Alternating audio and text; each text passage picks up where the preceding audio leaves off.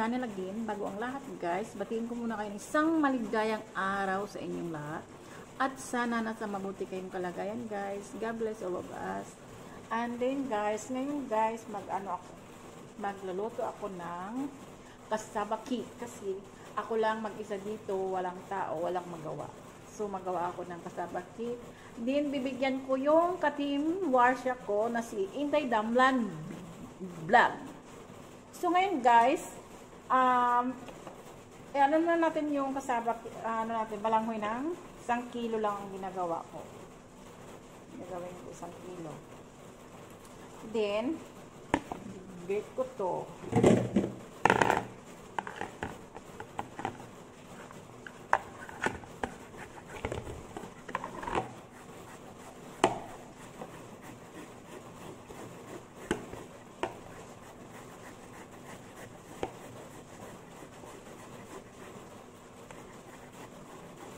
Nagawa din ako ng lemon juice. Then, bigyan ko din si kata, katiyandem ko, si Inday Damlan Vlog. Bukas, ihahatid ko sa kanya kasi Sunday tomorrow.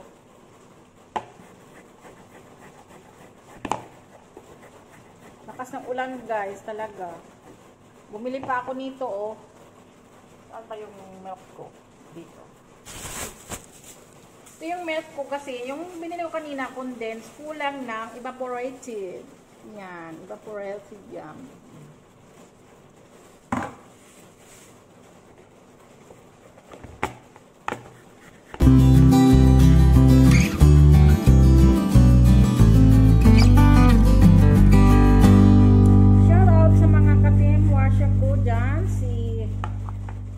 Mamsi Doors. Congratulations to you, Mamsi. Kasi sa wakas nakuha mo na yung pin ko. Mamaya, pin mo. Mamaya gagawa ko ng ano, video sa'yo. Then, Kabisaya TV Vlog. Mag-ingat-ingat ka dyan palagi, bunso. Ah, Inday Damlan Vlog. And,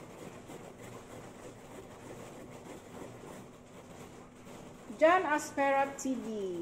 Hello bro, kumusta? Ingat-ingat palagi. Then, God bless din sa pamilya mo. And, truly yours, Lynn's Hearts Vlog.